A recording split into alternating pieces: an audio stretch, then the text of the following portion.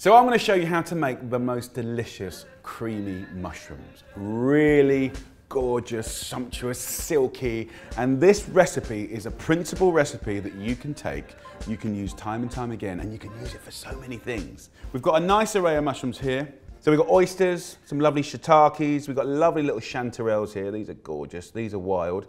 And this is trompette de mort, the trumpet of death. But you won't die, don't worry. So we wash those if you wish. Let's talk about flavouring. Uh, I'm going to use thyme today. Of course, you could swap that out for any other woody herb. I'm going to use dried chili, just a little bit. And then, of course, garlic. So, I said creamy mushrooms. What we have here is some creme fraiche. The idea is we don't need this, right? We can make creamy mushrooms without cream using butter and water, right? It's brilliant. So, pan on. We're going to go medium-high heat. So we'll whack that up now. I'm going to finely slice the garlic just into little slices. The chili, I'll just take the end off the chili just by slicing. Don't need much at all. I do not want you to recognize like any kind of hot, hot heat. Then we've got the thyme. Thyme is absolutely gorgeous and it's a nice savory herb. Just a little teaspoon of fresh thyme like that will make all the difference. So I love that. So First little thing I'm going to do, which is quite interesting and really not traditional, um, I learned this kind of technique in Japan, and they would, over barbecue, over coals, they would take humble mushrooms like this, and they would just kind of dry grill them. And then I kind of changed that at home in the UK to dry frying them in a non-stick pan, so no oil, right? So what this does, interestingly, is it starts to bring out nutty flavors. Like I say, you can go like whole mushrooms, no trouble. You can just break them in your hand like that. Let's just slice a few up. This one is a king oyster.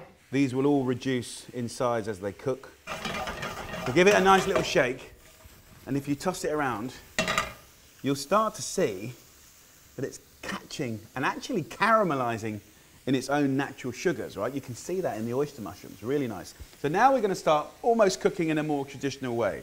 So I'll make a little gap in the middle of the pan, like this.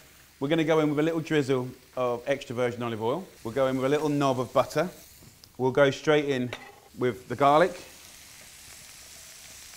And now we're going to go in with the chili and then the savory, fragrant notes of the thyme. Now we can start to toss.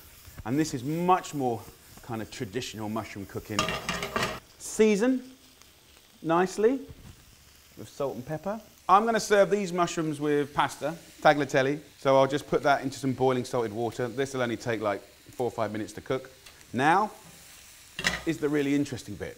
We're going to take some of this starchy water from this pasta and I'm going to put it into here.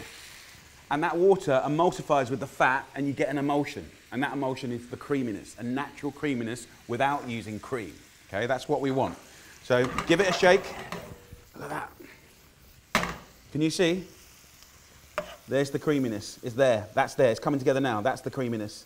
And now we can turn the pan off and it's done. So at this stage in the game, the pasta is done. I'll also take some more water to mix with the creamy mushrooms. And I'm just tossing that pasta in that creamy sauce. Look at the colour. What you can do, if you wish, is just add a little parmesan. So let's plate up if you're a mushroom lover. It's such a nice expression of mushrooms. It really is. Little kiss of olive oil. And that is beautiful mushroom tagliatelle with thyme, a tiny bit of chili, and parmesan. Have we got the creaminess? That's the question. What's lovely is the pasta really does soak up that gorgeous natural sauce. Mmm. The mushrooms are so savory and rich, really hearty.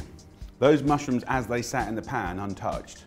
So that could go on a steak. You could have it on polenta, on toast, you could put it in a quiche, you could put it on a pizza. The list goes on. That's a really fundamental, delicious, honest mushroom recipe.